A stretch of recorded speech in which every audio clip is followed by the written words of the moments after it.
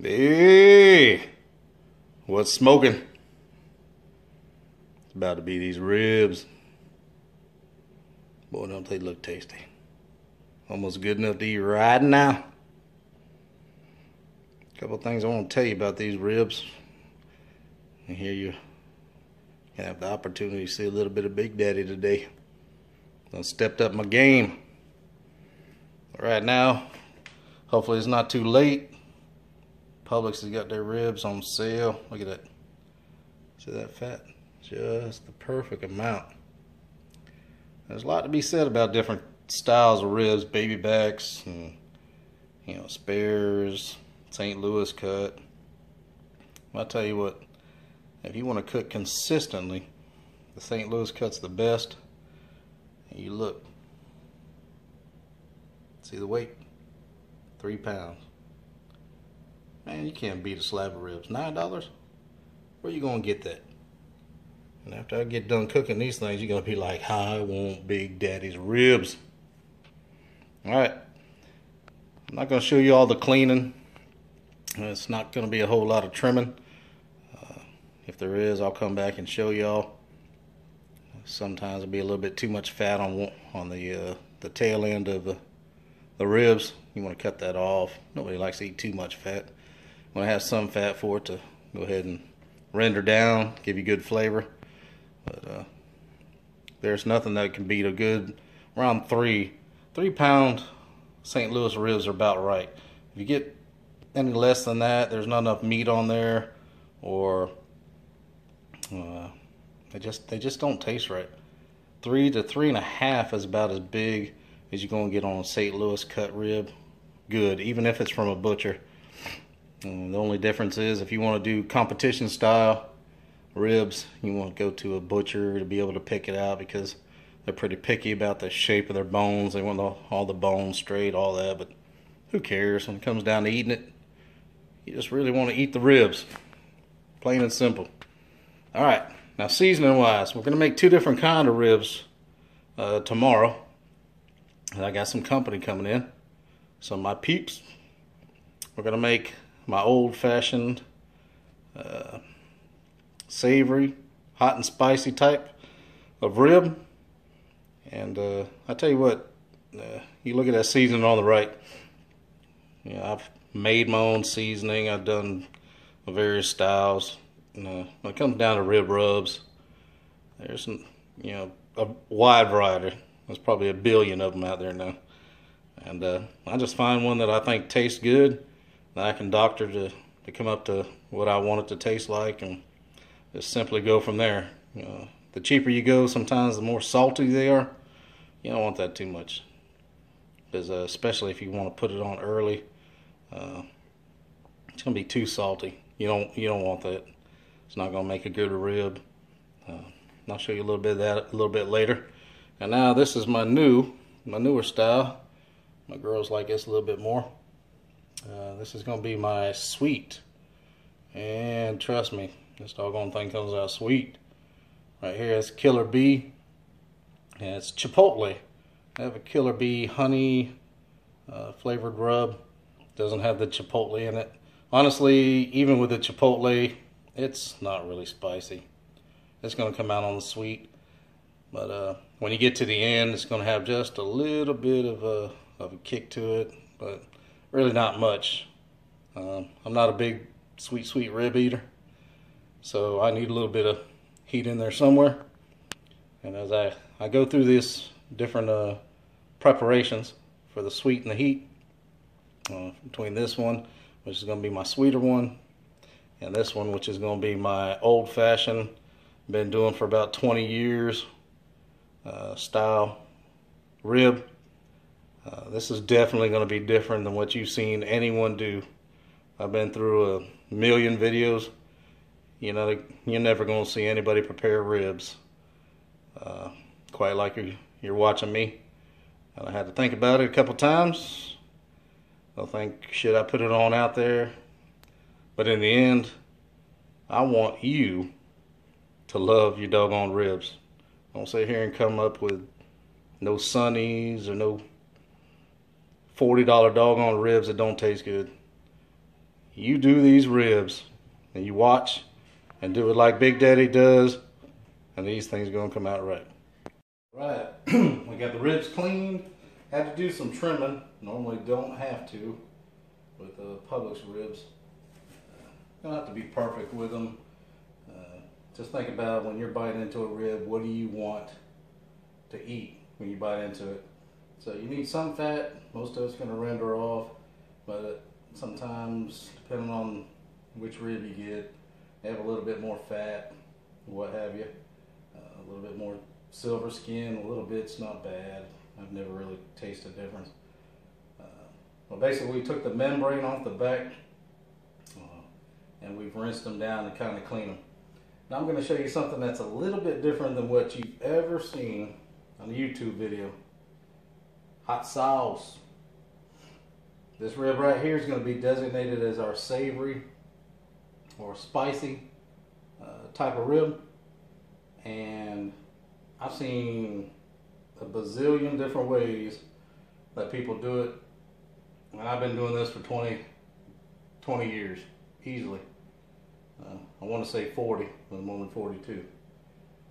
But we've seen many different ways to put stuff on ribs. A lot use mustard, whatever. The mustard doesn't really change the flavor, but I want hot, I want savory, I want something that uh, you're going to know this rib's a little bit different. And I've never shown this before, but it's pretty simple. You just simply put some hot sauce all the way down it, and make sure you use this brand. Uh, I'm not going to say the brand. Maybe I should cover it. Ooh, ooh, ooh, ooh. They're not paying me. I've used different ones. Uh, some are better on chicken, such and such.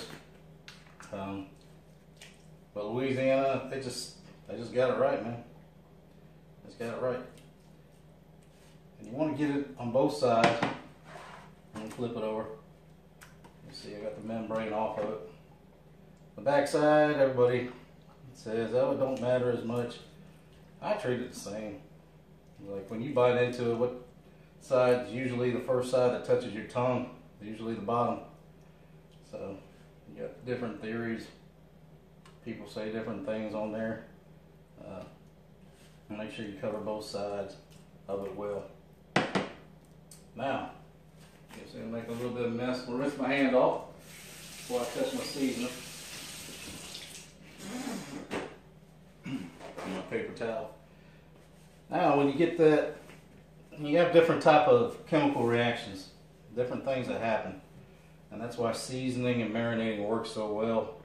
Uh, meat's a fantastic thing.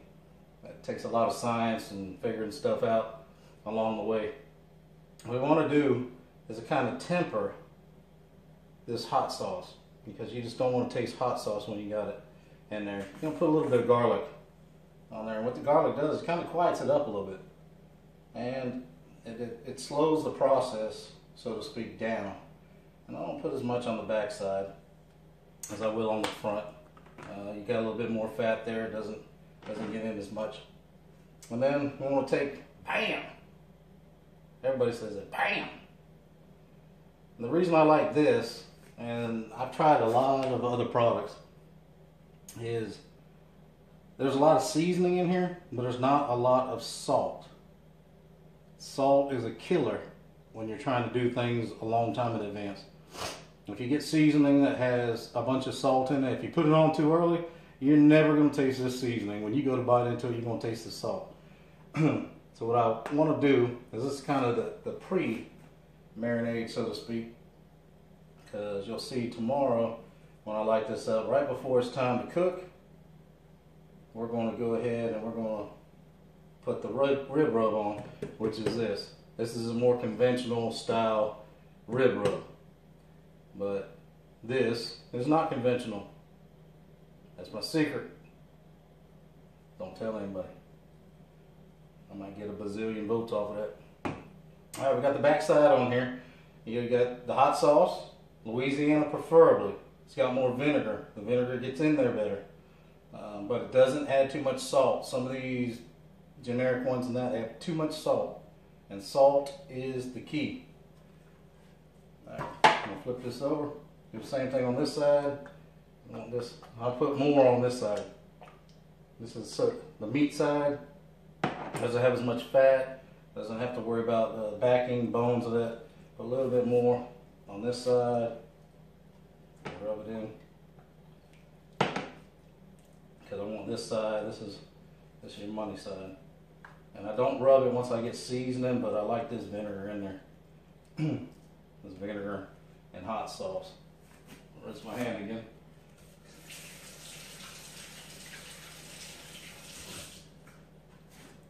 That's for all you vegetarians out there that want to kill the world touching pork.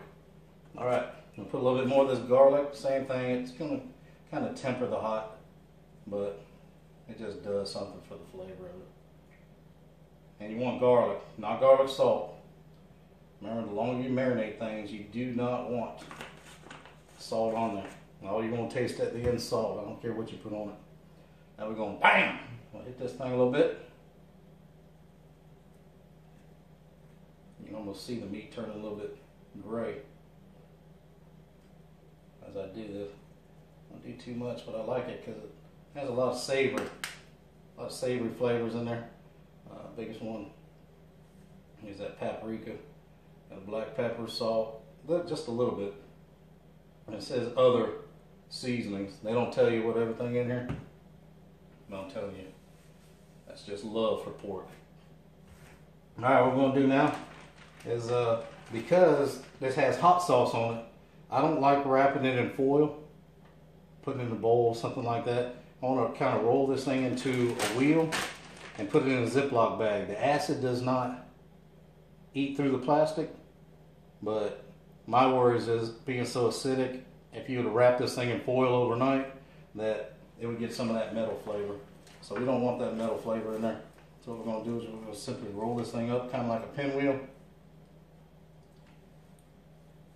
And then we're to feed this into a gallon Ziploc bag.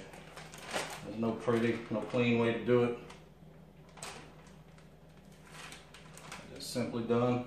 And we're gonna let that thing sit overnight. Like I said, the company's coming tomorrow. We're gonna start grilling in the morning. Uh, coming around four or five o'clock is what we told them. Um, so I want to let this thing sit overnight and then depending on how hot and that I decide to cook it tomorrow.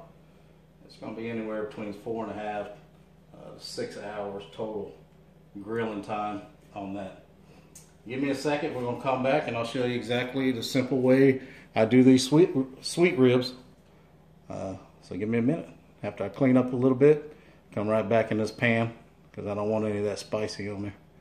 All right. See you in a second. All right, y'all a little bit of cleanup. Made sure that we weren't going to change the flavor of these ribs. These are actually the simplest.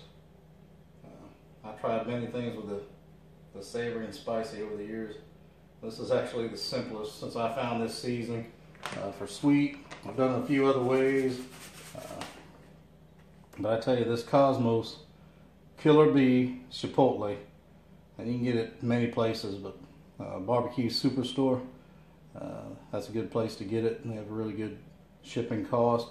You can buy a lot of things and only have to pay 10 bucks for shipping, which uh, saves you from buying from other sites. Uh, because some of the places want to charge you per item and that. But uh, Barbecue Superstore is a great place to get this. A great rub. Killer Bees Chipotle. And simply all we're going to do is I always start backside. Because when I flip it, I want everything to stay on the top side.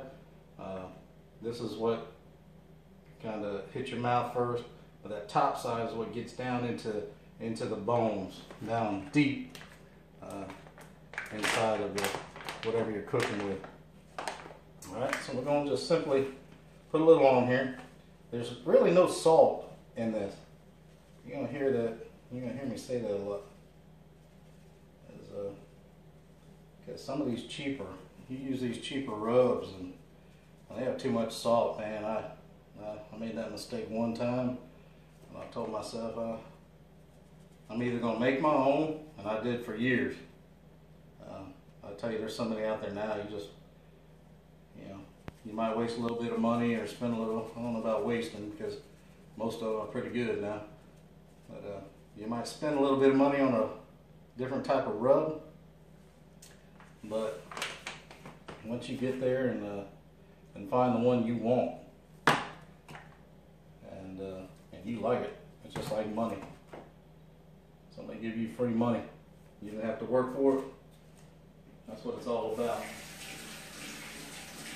That's what some of these rubs are. This one here, man, I could have probably spent the next 500 years trying to figure out how to do this rub and straight up, I, I couldn't make a rub like this. Not without the expertise. I'll put a little bit more on the on the top side. This, this is the money side, so to speak. That's what you when you go to contest and that. This is this what gonna win you. It builds bark. It's got a lot of flavor, and the the back part is important, but this top part, this is your money. You want to cover it. You want to paint it like a canvas. You want this thing to, if you think you're gonna take a bite of it, you want to taste that seasoning in every single one of these bites.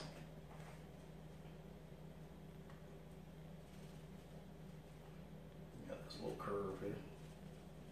And that seasoning up there in that curve.